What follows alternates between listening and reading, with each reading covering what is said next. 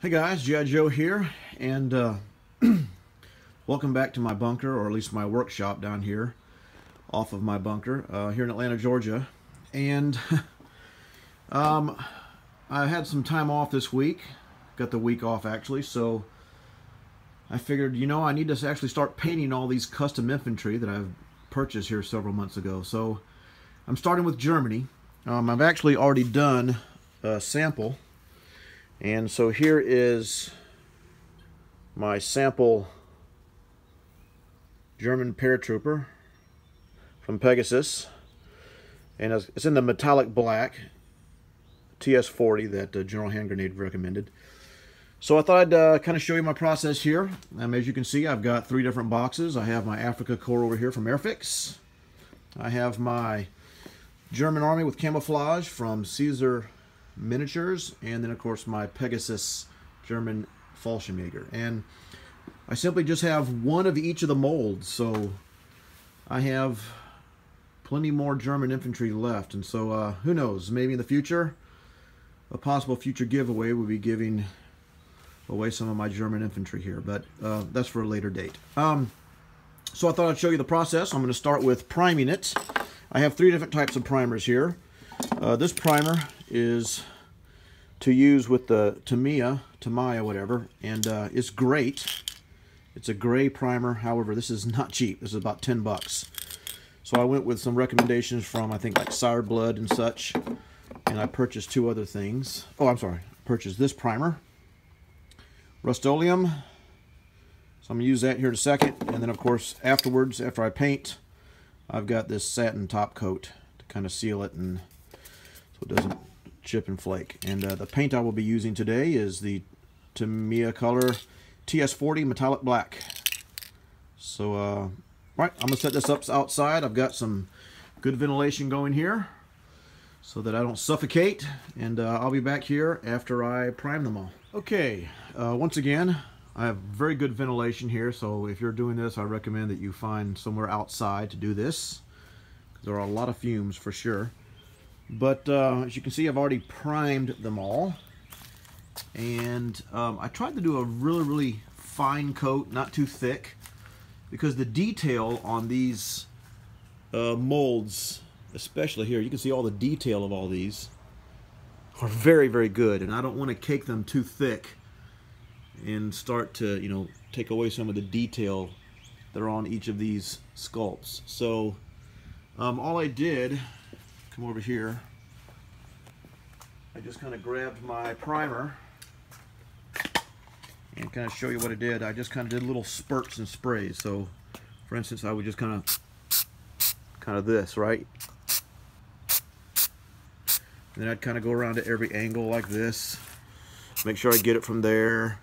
Um, and eventually what I might do after this dries is I might tip them on their side like this for, and try to get you know, maybe underneath a little bit. So um, it's going to be a, a, slow process, and it's probably going to take all day to dry, 24 hours at least, because uh, it's about 60 degrees here in Atlanta. It's kind of damp. We've had a lot of rain, so uh, I want to make sure that these dry completely before I put on the actual paint color. Um, I made the mistake when I showed you my sample.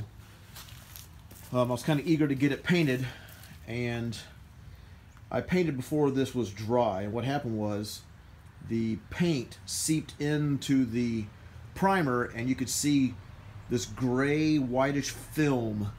And so I thought maybe my paint wasn't working but turns out I just didn't let the primer dry enough before I applied the paint. So I'm gonna let this dry good for at least 24 hours since I've got the week off. And uh, when this dries completely I'll come back and show you me putting on the coat of uh, TS40 metallic black. Okay, so we'll be back here within a day or two when I show you uh, painting the rest of this, okay? We'll be back in a, in a bit. Okay, so um, I've just completed the actual painting of my German pieces, and uh, as I said in my previous video, um, I did wait a day, 24 hours, for the primer to dry, um, therefore, it didn't. Therefore, the paint would not seep into the primer and kind of give that chalky kind of look. So, Um, now how I painted this, the first thing I did was, of course, using my matte black here, TS40 from Tamiya.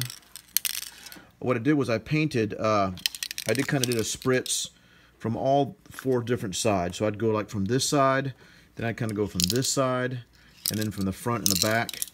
And then after that dried, as you can see, I have some little silhouettes here.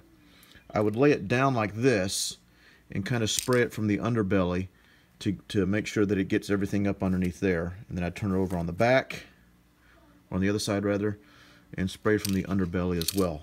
That way uh, it kind of covers all of the surfaces and you don't see any of the primer showing at all.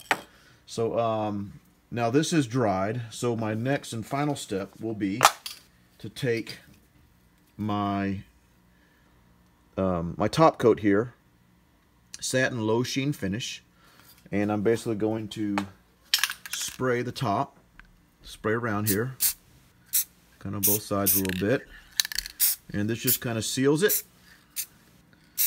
so that uh, you know protects the paint coating so it doesn't um, chip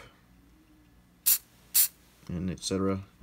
Gives a little bit of a sheen, a low sheen. Um, that way when I put it into the tray and it's kind of scratching up against all the other guys that paint's not going to chip off. So um, anyway, so that's a that's uh, that's my little kind of simple process. And uh, once this dries, of course, I'll, I'll spray all these guys down. And once this dries, I'll wait another probably day. And then I'll show them, show you what they look like on my board. Okay? We'll be back later. Thanks. All right, guys. It's been a couple days here, and I think I have my finished product for my German infantry. Uh, to the left is my Afrika Korps from Airfix. In the middle is the uh, German Army with camouflage capes from Caesar Miniatures. And to the right, my Pegasus Fallschirmjäger. Um, these are not all of them. I have some of them on the board already, which I'll show you in a second. But I want you to show you uh, the great detail from this TS40 metallic black. They look great. Um, as you can see, the advantage of, of not only spraying each side, but then also spraying from underneath like this, you can ensure that there are no light areas or uh, uh, primer showing. So that's that. Of course, here are a couple of my guys from the German army with capes. Kneeling Germany, uh, kneeling soldier. Getting ready to throw a potato masher. You can still see the great detail. Um, and then, of course, I'll show you some of my Fallschirmjäger paratroopers. Great detail. Again, when you spray from the bottom, like this, to come up from underneath, you can ensure that you get all the under, you know, underneath all the belts and the canteens and all that so that there's no white showing. So all in all, it took me about two days. Um, yeah, uh, I primed them, and then and then I waited a day for dry, and then I I painted them, and waited about another day to dry and then I put on the uh, the coat um, the satin top coat so it's a, a, th a three step process like I said the, uh, the primer first then the paint and then the top coat and then um, you have a finished product here so let me uh, show you around the board a little bit all right and so here's what the custom infantry look like on my board so you can see I've got, uh, I love this pose right here of this German paratrooper throwing a hand grenade. You see a bazooka. So now I have every single one of my infantry on my board, for Germany at least, are my custom infantry. Panzerfaust, see a commander there in Western Germany. You can see over here, got a couple guys.